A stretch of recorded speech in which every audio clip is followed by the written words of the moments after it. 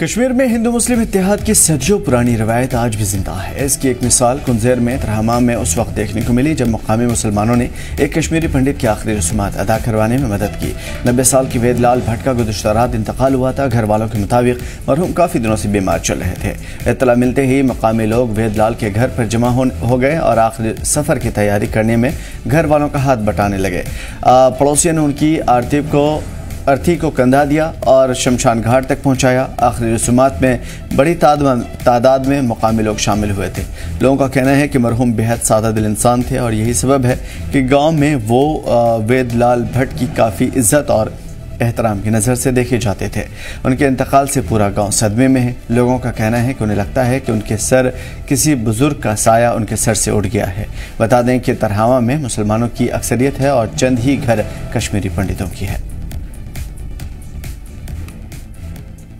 सुबह ये खबर, ये दुखी खबर सुनी कि ब्रजनाथ भट्ट मोजे उसन बांगिल इंतकाल कर गए, जो काफ़ी अलालत में था, बुज़ुर्ग था।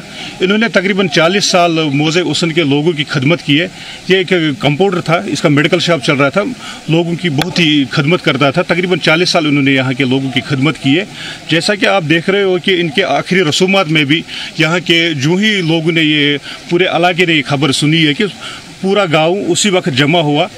कि, इनके आखिरी रसूमात में जो आप इस वक्त भी देख रहे यहाँ पूरे इलाके के लोग जमा है।